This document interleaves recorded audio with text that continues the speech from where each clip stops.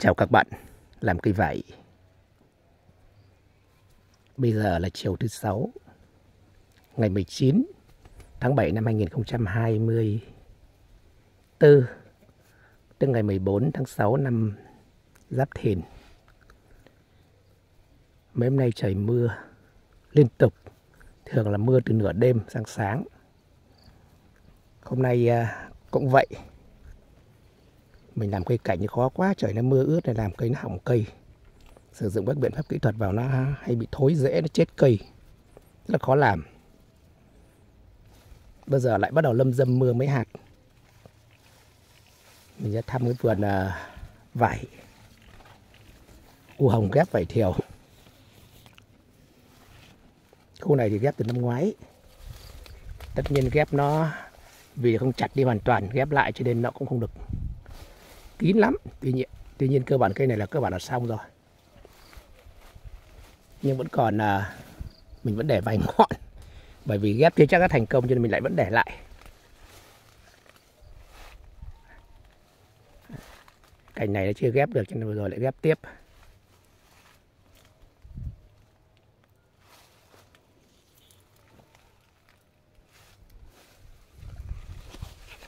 Như cây này thật ra chặt chặt vải thiều đi được đấy chứ còn cành kệ nó. Bọn cây này chỉ cần mọc một cái thôi, nhưng mà khi ghép thì sợ nó không mọc nó ghép nhiều.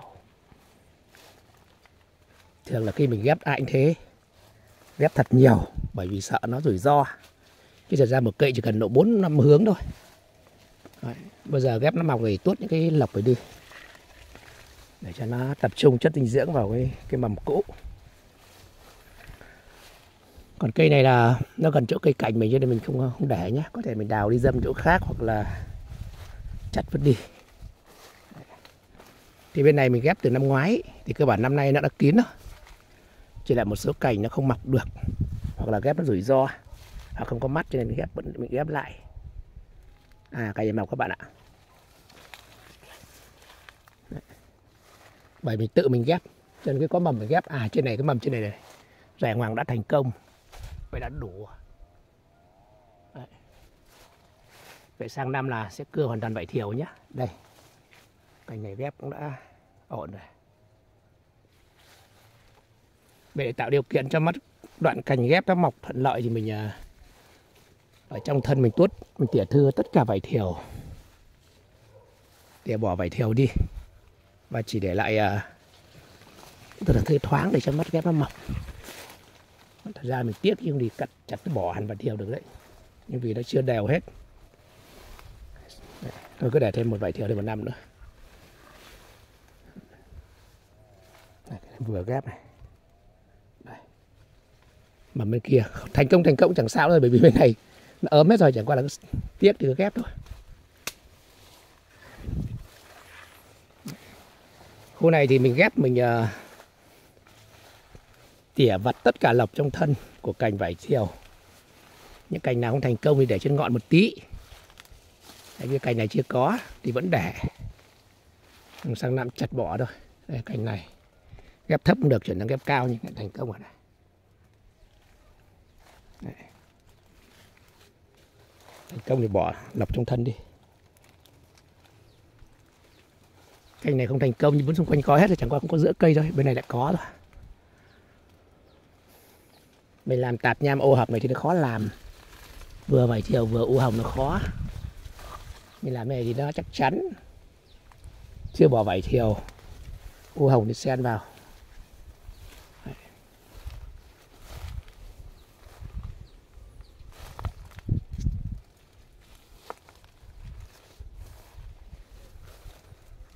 Nông dân nhưng cứ tự làm cái tay máy cành này ghép cả hai cành đều thành công. Vận cành.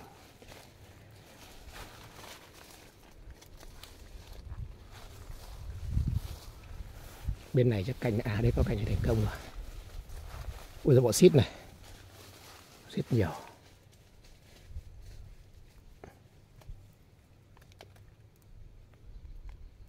Hai cành này không còn thành công đâu, cành chưa thành công đâu đâu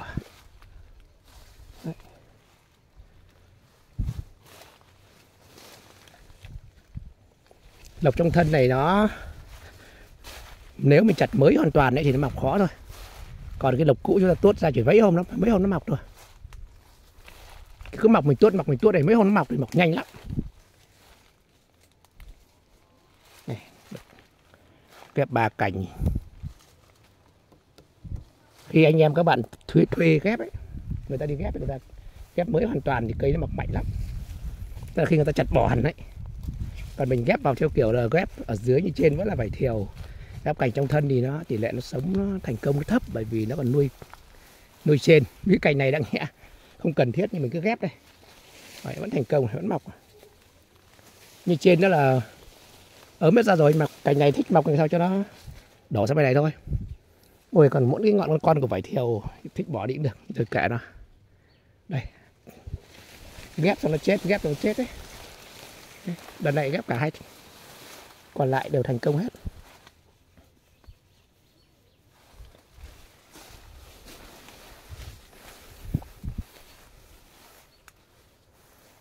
Trong uh, cái lô ghép này có 4 cây 4 năm cây mình làm uh, video chia sẻ sau thời gian mà vải uh,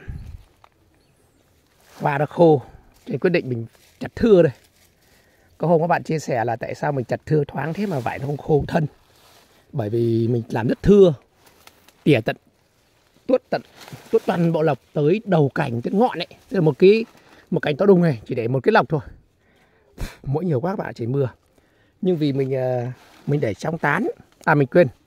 Mình làm hình à, anh em à, hay bị khô là cái, anh em làm vải theo kiểu là cái phễu, lòng chảo. Ở giữa chẳng có gì thì nó mới khô thôi. Còn mình mình để hình cầu, hình tròn thì nó không khô các bạn ạ. Khi chúng ta để hình cầu này dù rằng chúng ta chặt xong chúng ta thấy chẳng có mấy lá, nhưng chỉ cần nó có một vài cái lá thôi. Nó lang thoáng, nó cũng không khô cây. Còn chúng ta chặt cụt hết, nó nắng từ khoảng 8 giờ đến 5 giờ thì kiểu 3 giờ chiều kiểu gì nó cũng khô. Cho nên chúng ta cứ để một cành giữa thì nó sẽ không khô. Mặc dù nó chỉ có vài cái lá thôi. Đấy đây là cách làm của mình. Cái lô này thì mình mới ghép thôi. Bởi vì những chỗ ghép mà lộc mọc tốt ấy thì là ghép từ thời gian mà ghép từ thời gian à, sau khi thu hoạch quả vải u hồng. Mình chặt ra mình ghép mình cắt mình ghép. Còn cái lô này thì sau thu hoạch quả ấy, à quên nhiều mũi quá khi có quả à khi có hoa đấy là mình ờ, mình chặt cụt đi. Thế bây giờ nó mọc lại thì mình ghép lại. Cho bây giờ mới ra. Đấy. mà mọc khá khỏe. Nhiều mũi quá trời mưa, còn là mũi ẩm ướt.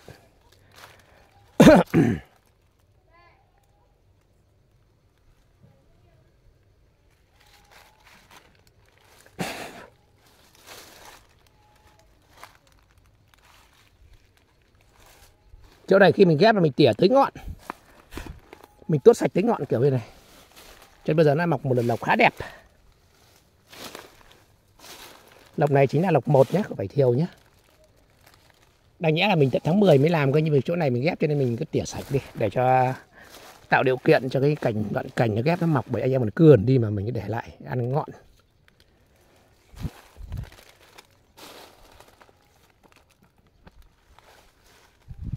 Ăn ngọn vải thiều thôi. Còn à, trồng thân làm u hồng rồi.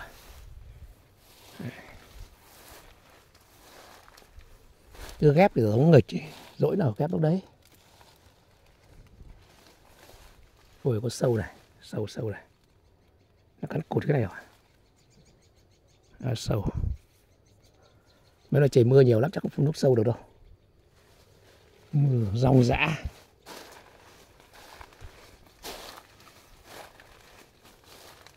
Bên này đó. Bên này có thì bỏ đi đi thôi. Khi mình đã có chân lộc rồi, nó cứ mọc mình tuốt mỏng tuốt mọc nhanh lắm. Cho ra vật nó mọc mới an toàn nó lâu thôi.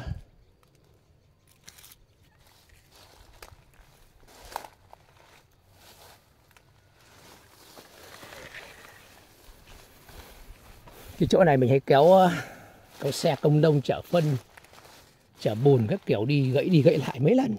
Gãy xong lại gãy. Trên đây là cành vải tàu muộn. Mình vẫn để lại cho mình không không tỉa cho rậm mù.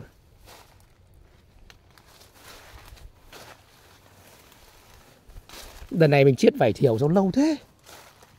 Mãi chẳng mọc. Ôi trời chẳng chưa có dễ không biết tại sao. Có cây thì mà khỏe lắm, có cây gì các bạn là bạn đặt mấy chục cây, mình gửi cho bạn mãi chẳng gửi được. Chiết từ dạo mới đậu cành mọc cành không nó không đều.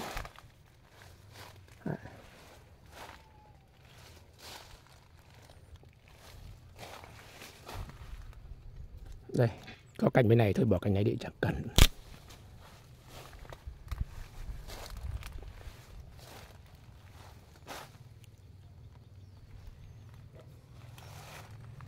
Cái lô này thì à, uh, bây giờ chỉ phun nước sâu thôi giữ cho lộc lộc này uh, hai uh, hai năm thì không lấy quả.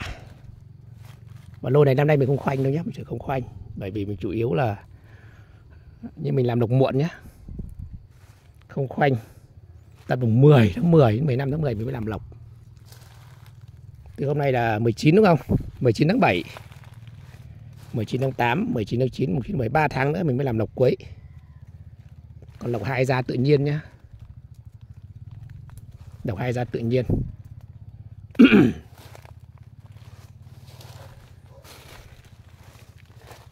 Bởi vì là mình à, mình ghép cho nên mình phải phun thuốc, còn những chỗ mình không ghép mình không phun đâu. Không ghép mình chỉ làm một lần lọc thôi, nhưng chỗ này ghép phải phun thuốc. Không thì nó cắn mắc ghép. Thì coi như đây là lộc 1 lúc 1 tháng 7 tháng 8 lúc 2 tháng 8 tháng 9 lúc 3 tháng 10 11 12 và đồng chí thành thục, cho năm nay mình không khoanh nữa à mình không khoanh nữa này nữa. Làm lục muộn. Nếu thời tiết mà nó khô hạn mà đúng thời gian ủ hoa nó không có dấu hiệu nguy cơ mưa thì mình kệ đó.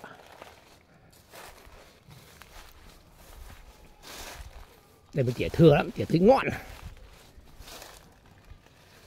Một ghép khỏe không? Sâu quần lá này chắc chắn đây có sâu. Hí, nó chạy kìa, úi rồi. Đang còn sâu à? Sâu quần lá. Ngay.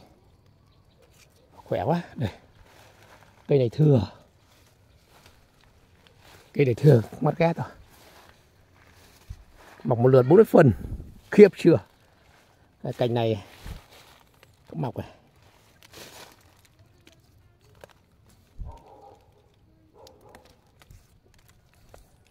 bởi vì mình ghép cho nên uh, mình phải phun thuốc sâu giữ cành ghép cũng nó sâu cắn mất. Cho nên uh, mình sẽ làm lộc một lộc hai tốt nhé. Lộc một lộc hai chứ cái lộc này này. Của cây vải thiều ấy. Còn lộc dưới này là mình phun để nó giữ.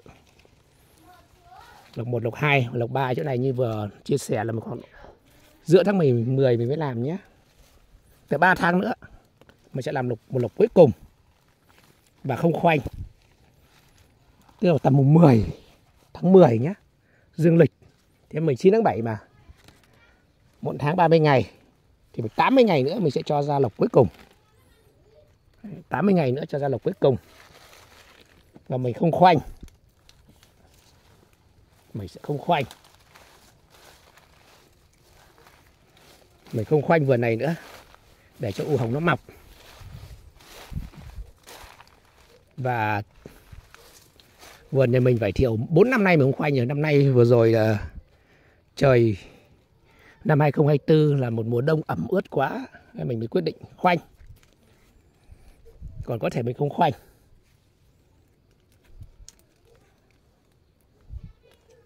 khoanh nó là một biện pháp kỹ thuật gần như là bắt buộc đối với những nhà vườn. Nhưng tuy nhiên với mình mình nó chỉ là một biện pháp kỹ thuật ức chế thôi. Hôm nay cành này cũng định à, định siết đi anh ghép đây nhưng mà cao quá để bỏ. Với mình nó chỉ là một biện pháp kỹ thuật thôi. Rất là tuyệt vời, nhưng nó có những hạn chế. Còn vườn mình bao nhiêu năm, mấy năm mình cũng khoanh nó vẫn bình thường mà. Cho nên à, mình không bó buộc. Khoanh thì nó tuyệt vời thật, nhưng nó có nhiều hạn chế. Vải thanh hà, nhiều bạn khoanh có thể chết cây hàng loạt. Sau đậu quả xong nó cũng, tất nhiên khắc phục dễ thôi còn vải để không chết thì khoanh xong chúng ta cứ tưới giữ ẩm là nó không chết đâu. Đấy, như tấm này nó cũng nhiều phiền hà. Mà ông khoanh nó vẫn có quả được thì tuyệt vời. Nên mình vẫn làm được mà.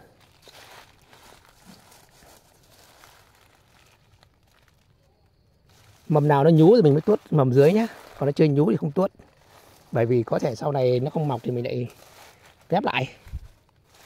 Còn mầm nhú thì phải tuốt đi cho nó tạo điều kiện nó mọc.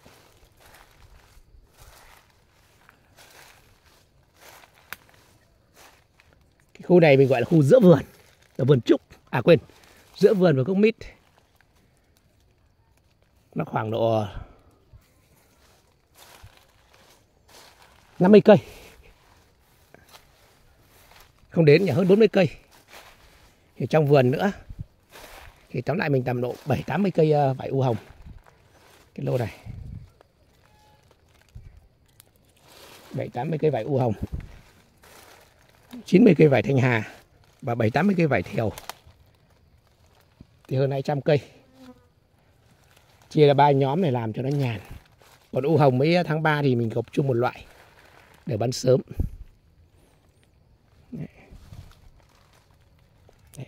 Mình tuốt thường xuyên nhưng vẫn nhú lắm các bạn ạ. Đấy. tỷ lệ cành này trượt hết rồi à đây, được một mầm. Mầm này chưa mọc nhưng vẫn tươi bởi vì mầm này đã mọc rồi thì mình bỏ mầm trên đây đi nhé tuốt đi. Bên kia có mà, bên này có rồi nó sẽ át sang. Trông thì thế thôi nhưng mà khi nó mọc lên nó lại dậm mù ấy mà. Ở trên này, ôi, cả bàn này có một cành này. Thôi cứ để ra đây, cành này được rồi. À.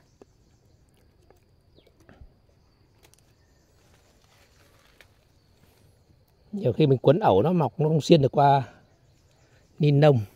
Nó quấn trong đấy, chết. Quấn kỹ thì nó lâu quấn ẩu nó lướt lướt qua thôi. Tay xoáy một cái. Quấn kỹ thì mất thời gian.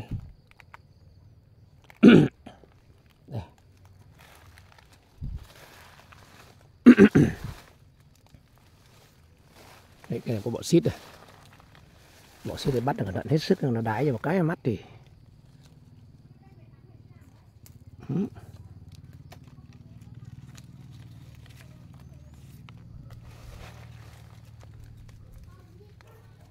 này lộc trong thân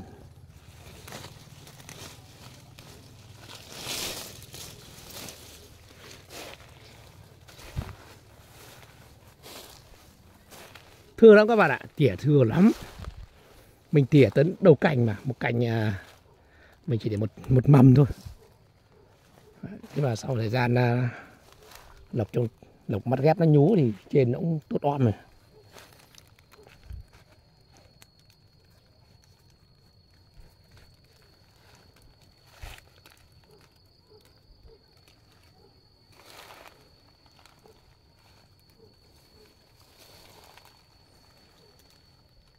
Mầm lại mọc. Kém một tí.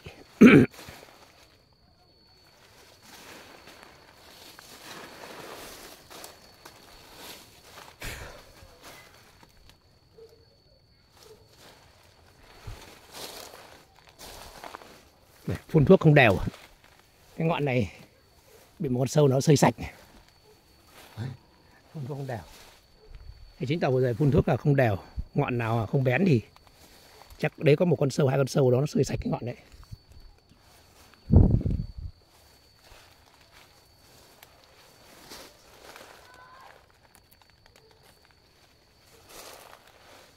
Đây, bên kia cái ngọn kia mọc cái bỏ này đi. Đấy. mấy hôm nữa các bạn ạ? Ba bốn hôm mọc như này đấy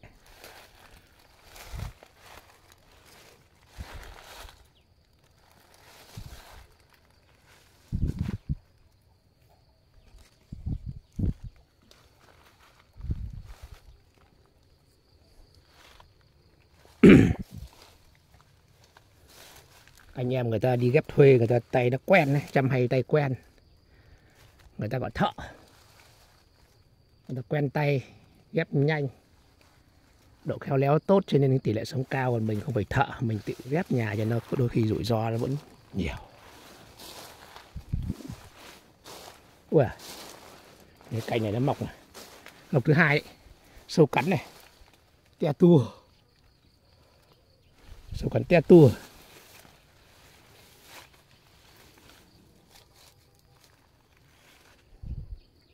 Trên này mọc bỏ đi.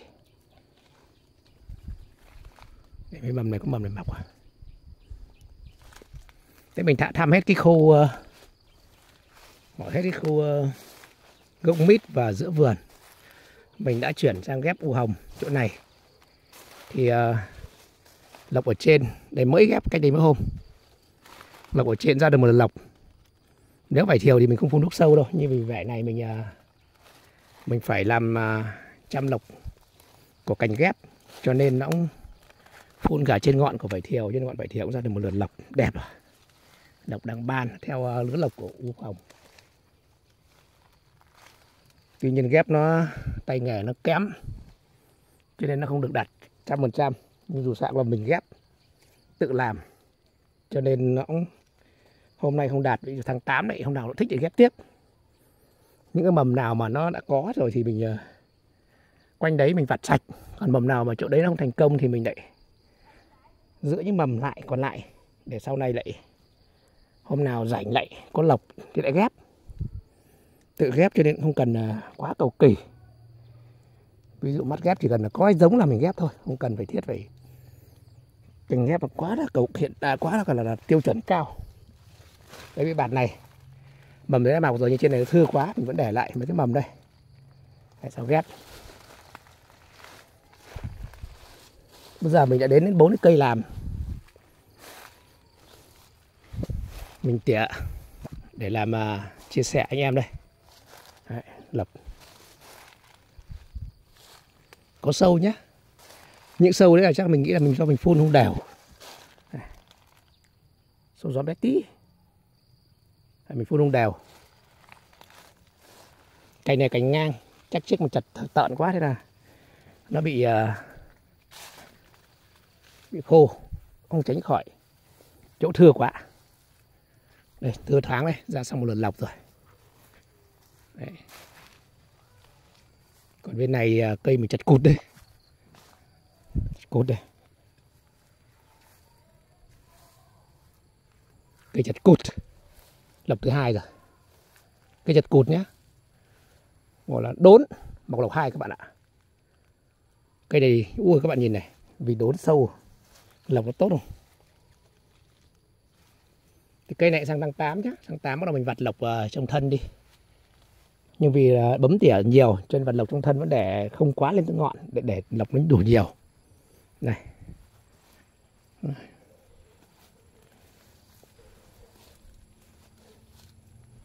Cứ bón nhiều phân phun thuốc là lọc đẹp hết. Này. Dậm mù, lọc trong thân dậm mù.